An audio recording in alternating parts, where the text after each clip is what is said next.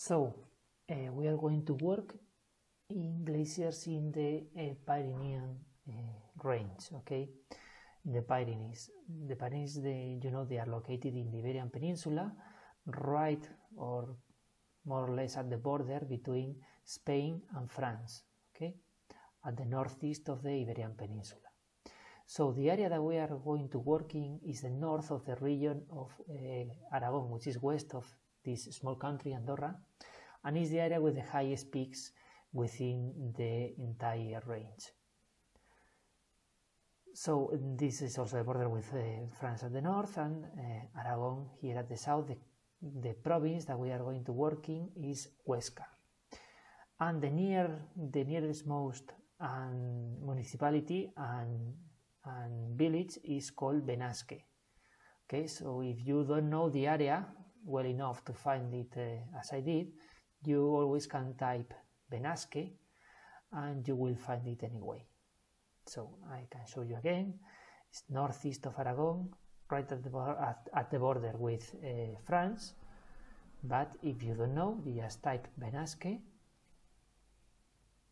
in the browser and Benasque Spain and it will take you to the village, okay, to the town of Benasque. However, the glacier itself is northeast of the Benasque, following the valley that I have shown to you.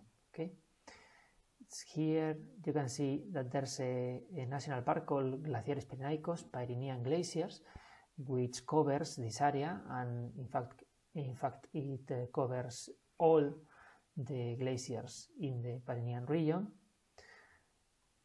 in the Spanish part of it, of course and uh, here we can see some of the glaciers already. This is the Maladeta Aneto uh, range or massif and it has the highest uh, peaks within the Pyrenees. So once again, this is Benasque, northeast of it.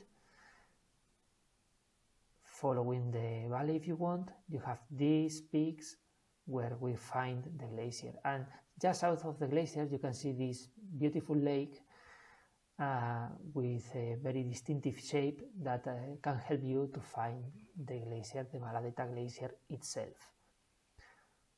Okay, the Maladeta Glacier is heading is facing north, you can see here, and it has a small tongue, but most of it is just uh, stuck to the uh, glacier cirque head wall.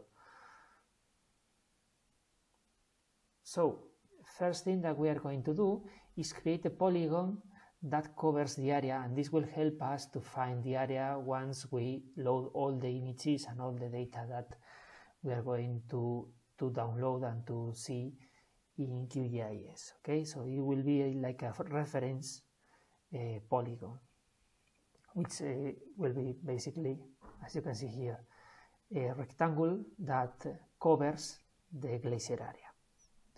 So we have the polygon. This is on the north, uh, sorry, on the upper menu with the name Maladeta or the name that you choose. It doesn't matter. So you have to keep open this uh, this window that opens. Now we keep open. We keep it on the right, and it's just uh, a matter of drawing a small rectangle around the glacier like this.